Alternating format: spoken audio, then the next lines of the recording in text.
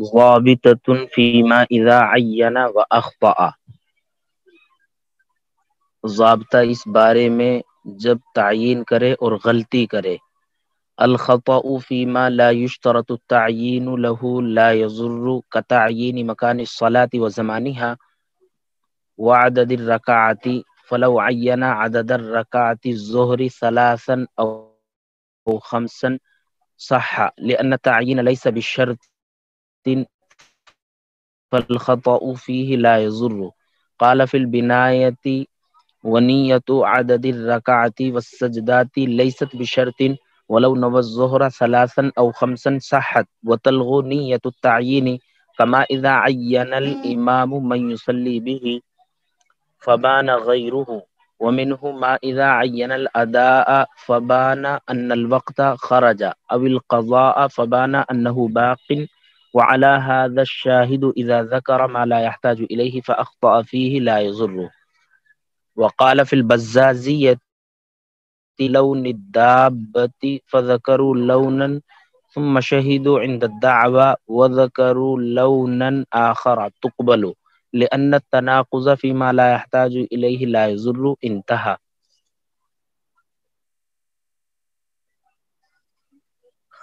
खता करना उसमें जिसमें तायीन शर्त नहीं है, मुजिर नहीं है।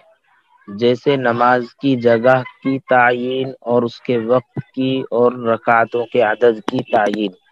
चुनाचे अगर जहर की रकातों का आदद तीन या पाँच मुतन किया तो सही है। इसलिए कि तयन शर्त नहीं है तो उसमें गलती मुजिर नहीं है। बिनाया में फरमाया और रकातों और सजदों के अदद की नीयत, ये शर्त नहीं है। और अगर जोहर की तीन या पाँच की नीयत की तो सही है और तयन नीयत लघव है। जैसा कि जब इमाम तयन करे उनकी जिनको वो नमाज़ पढ़ा रहा है, फिर उसका गैर ज़ाहिर हो, यानी जिनकी तयन की गई है उनके अलावा ज़ाहिर हो और इसी से है कि जब वो अदा की तयन करे, फिर ज़ाहिर हो हो कि वक्त निकल गया है या कज़ा की तयन करे, फिर ज़ाहिर हो कि वक्त बाकी है। और इसी पर है कि गवाह जब उन चीज़ों को ज़िक्र करे जिनके हाजत नहीं है, फिर उसमें गलती करे तो वो मुजिर नहीं। और बजाजिया में फरमाया कि अगर काजी ने सवाल किया चौपाए के रंग के बारे में तो उन्होंने ज़िक्र किया एक रंग, फिर गवाही दी दावे के वक्त और ज़िक्र किया दूसरा रंग तो उनकी गवाही कबूल की जाएगी। इसलिए कि तनाकुज उन चीज़ों में जिनकी हाजत नहीं, ज़रूरत नहीं, मुजिर नहीं है। इंतहा बजाजिया का कलाम पूरा हुआ।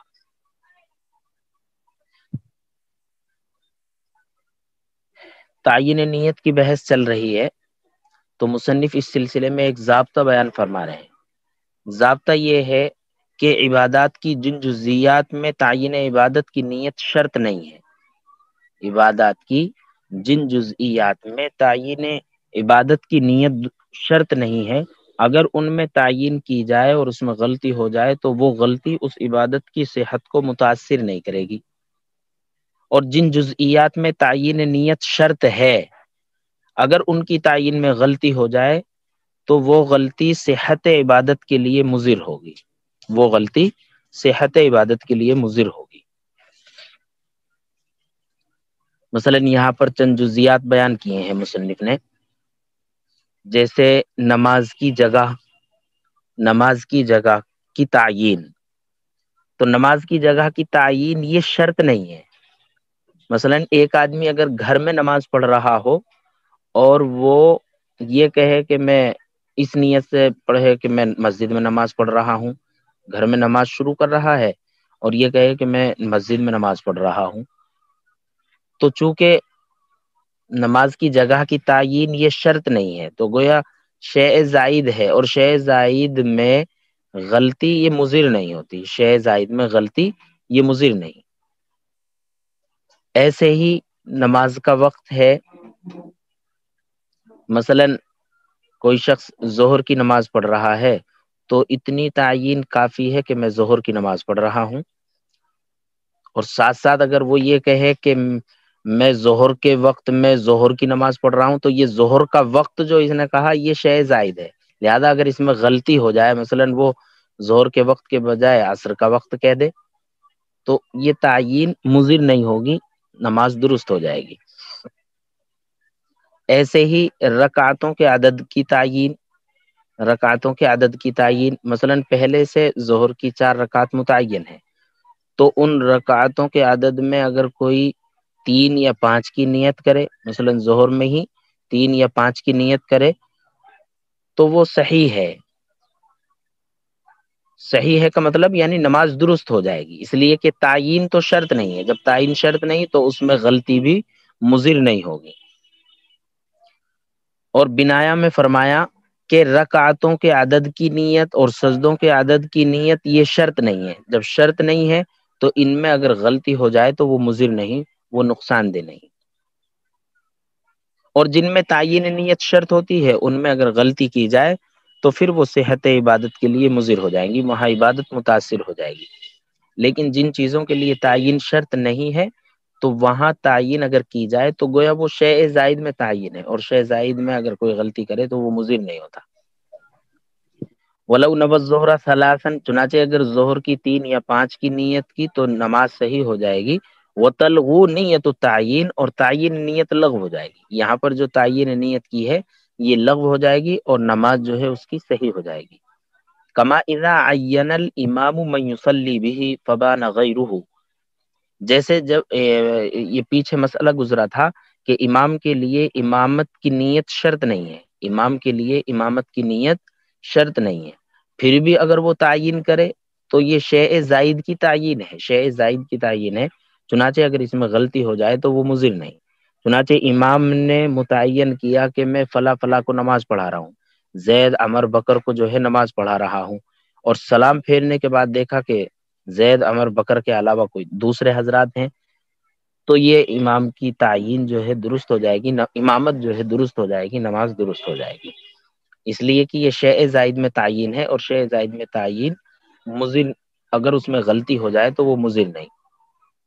कमा इदा अयन इमाम अयना का फ़ाइल इमाम है मयूसली ये मन जो है, ये मफूल बनेगा इसका।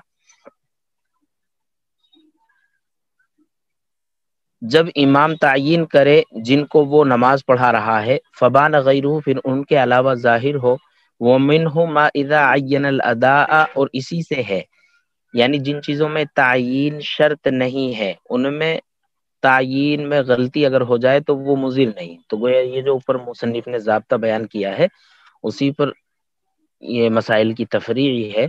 तो उसी से है कि जब कोई अदा की तयन करे फबाना अनल वक्त खराजा। फिर ज़ाहिर हो के वक्त निकल गया है, या कज़ा की तयन करे, फिर ज़ाहिर हो के वक्त बाकी है। कोई शख्स जोहर की अदा नमाज़ पढ़ रहा है। मसलन, आज की ही जोहर अगर कोई पढ़े तो बस इतना काफ़ी है कि मैं जोहर की नमाज़ पढ़ रहा हूँ। उसमें अदा की नीयत ये शर्त नहीं है। अदा की तयन कर लेना और उसकी नीयत कर लेना ये शर्त नहीं है। बस जोहर की नमाज़ पढ़ रहा है, इतना भी काफ़ी है। तो अदा की नीयत जब ये शर्त नहीं है फिर भी अगर कोई अदा की नीयत करे और उसमें गलती कर जाए तो गोया शे में गलती की है और शे में अगर गलती करे तो वो मुजिर नहीं होता। चुनाचे अगर किसी ने ये आज की जोहर पढ़ रहा है लेकिन आ, उसने जो है अदा के बजाय यानी अदा नमाज़ पढ़ रहा है और अदा के बजाय कजा का लफ्ज निकल गया कजा कह दिया तो उसकी ये नमाज़ दुरुस्त हो जाएगी। यानी अदा ही मानी जाएगी, लफ्ज कजा से वो नमाज़ मुतासर नहीं होगी। या इसका बरक्स मसलन कजा नमाज़ पढ़ रहा है, वक्त निकल गया है तो बाद में कजा ही पढ़ेगा वो, और कजा पढ़ रहा है तो उसमें कजा की तयन नीयत शर्त नहीं है। कजा की तयन नीयत शर्त नहीं है। बस जब वक्त निकलने के बाद पढ़ रहा है तो वो कजा ही है, और जब कजा पढ़ रहा है तो तयन नीयत शर्त नहीं, फिर भी अगर कोई तयन करे तो गोया शे जायद में तयन है और शे जायद में तयन करे और फिर गलती करे तो वो गलती मुजिर नहीं। चुनाचे कजा की तयन की और गलती से जो है अदा निकल गया, यानी कजा नमाज़ पढ़ रहा है और गलती से अदा निकल गया तो उसकी कजा नमाज़ दुरुस्त हो जाएगी। उसी को मुसनफ ने कहा वो मिन अदा कि जब अदा की तयन करे, फबाना अनल वक्ता खराजा, फिर ज़ाहिर हुआ कि वक्त निकल गया है अविल कज़ा या कज़ा को मुतन किया, फबाना अन्नहु बाकिन, फिर ज़ाहिर हुआ कि वक्त बाकी है, वक्त बाकी है। यहाँ जो है कज़ा का, कज़ा को मुतन कर रहा है, लेकिन वक्त अभी बाकी है तो उसकी वो अदा ही मानी जाएगी, अदा ही मानी जाएगी। ऐसे ही अदा को मुतन किया है उसने, और ज़ाहिर हुआ बाद में कि वक्त निकल चुका है तो वो कज़ा मानी जाएगी, कज़ा मानी जाएगी। ये मैंने आपको उल्टा बता दिया। वमिन हुमा इदा अदा अदा की तयन की, अदा की तयन की। लेकिन बाद में पता चला कि वक्त निकल चुका था, वक्त निकलने के बाद पड़ी है तो वो कज़ा ही मानी जाएगी अगर से अदा की नीयत उसने की है।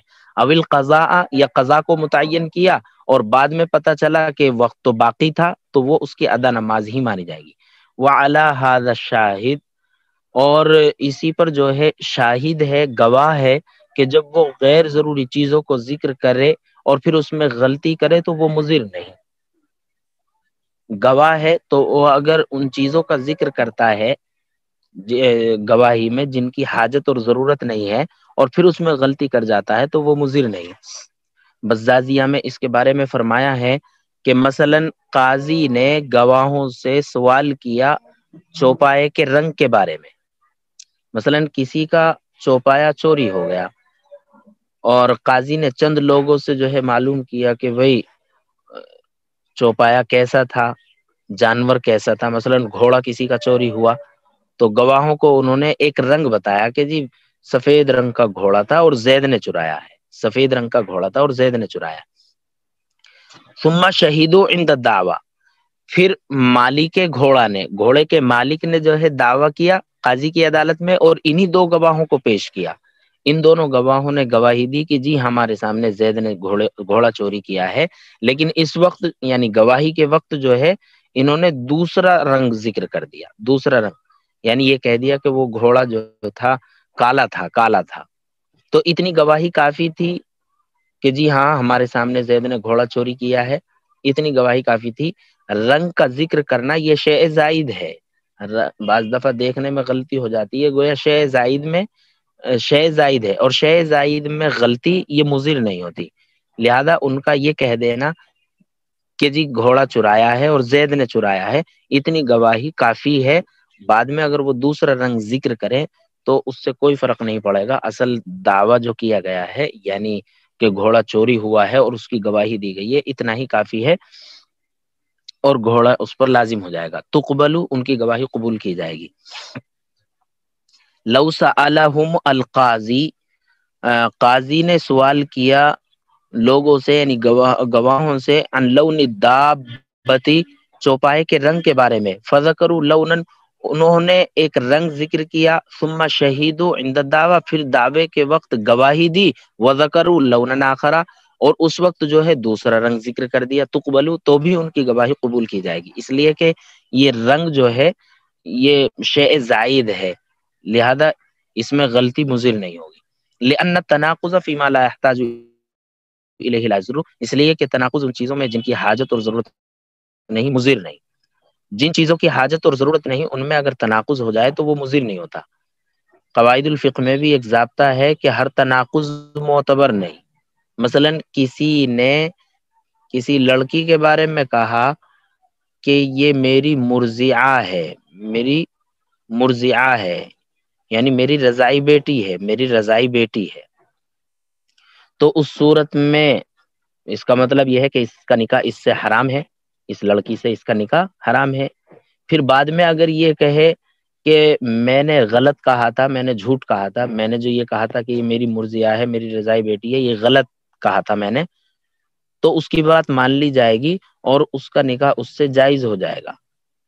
तो पता चला कि हर तनाकुज मोतबर नहीं, हर तनाकुज मोतबर नहीं है। तो यहाँ पर भी शे जायद यानी जिन चीज़ों की हाजत और ज़रूरत नहीं है, उन चीज़ों को बयान किया गया है और उनमें अगर गलती हो जाए तो वो मुजिर नहीं है। फीमा इजा व अख्ता जाबता उस बारे में जब तयन करे और गलती करे। अलखता फीमा ला युशरत तयन लहू ला यजुर्रु, गलती उस सिलसिले में के तयन शर्त जिन चीज़ों के लिए तयन शर्त नहीं, वो मुजिर नहीं। का मकानी सलाती व ज़मानी हाँ वदद रकाती।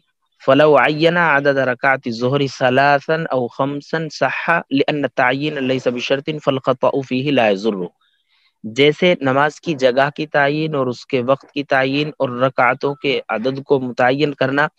बस अगर जहर की रकातों के आदत को मुतन किया तीन या पाँच तो सही है, इसलिए कि तयन शर्त ही नहीं है तो वो चार की चार ही रहेंगे। फल खतौफी ही लाजुर्रु तो उसमें गलती भी मुजिर नहीं। काला फिल बिनायती वनीयत आदद रकाती व सजदाती लईसत बिशर्तिन बिनाया में कहा है, और रकातों और सजदों के आदत की नीयत शर्त नहीं है। और अगर जोहर की तीन या पाँच की नीयत की साहत तो सही है व तलगु नीयत तयनी और तयन नीयत लघव है। कमा इदा आयन इमाम मयुसली भी फबान गैरहू। जैसे जब इमाम तयन करे उन लोगों की जिनको वो नमाज़ पढ़ा रहा है, फिर उनके अलावा ज़ाहिर हों, यानी मुतन करदा के अलावा ज़ाहिर हों। वमिन इदा अदा फबाना अन वक्त खराजा, अविल कज़ा फबाना अन्नहु बाकिन। और इसी से है कि जब अदा की तयन करे, फिर ज़ाहिर हो कि वक्त निकल गया है। तो लिहाजा जब वक्त निकल गया है और वक्त निकलने के बाद इसने नमाज़ पढ़ी है तो वो कज़ा ही समझी जाएगी, अगरचे अदा की नीयत इसने की है।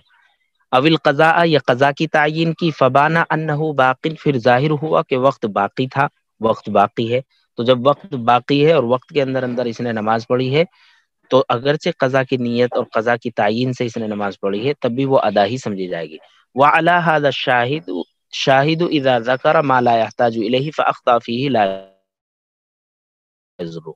और इसी पर है कि गवाह जब उन चीज़ों को ज़िक्र करे जिनकी हाजत और ज़रूरत नहीं, फिर उसमें गलती करे तो वो मुजिर नहीं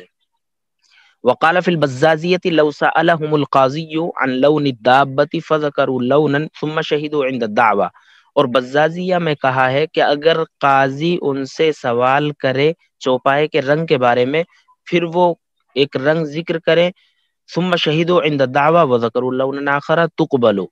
फिर दावे के वक्त, यानी जब मालिक ने दावा किया और गवाही के तौर पर इन्हीं लोगों को पेश किया तो इन्होंने गवाही दी, व जकरू नाखरा, और फिर दूसरा रंग इन्होंने ज़िक्र किया, तुकबलू तो इनकी गवाही कबूल की जाएगी।